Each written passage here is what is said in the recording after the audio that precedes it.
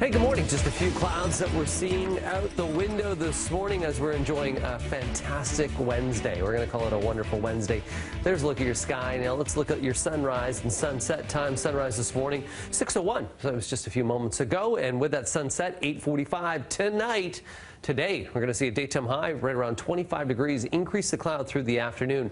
Dry through today. Tomorrow, on and off showers, risk of a thunderstorm, a little bit more humid. Fresher feel for Friday. Morning cloud, then clearing in a high of 24. The weekend looks fantastic. 27 on Saturday, not a whole lot of humidity. Humidity returns on Sunday. Sunday's going to be a hot one. 29 degrees, feeling into the mid 30s as well. Into Monday, mix of sun and cloud. And we're tracking just a weak system that could bring some showers for Tuesday and a high Tuesday, 25. That's look your weather.